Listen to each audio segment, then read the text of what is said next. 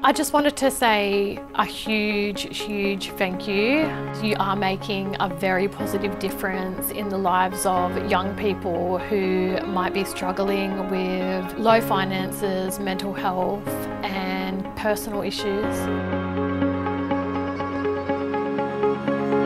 My scholarships have helped me get on the path to achieving what I would like to achieve by increasing my self-confidence.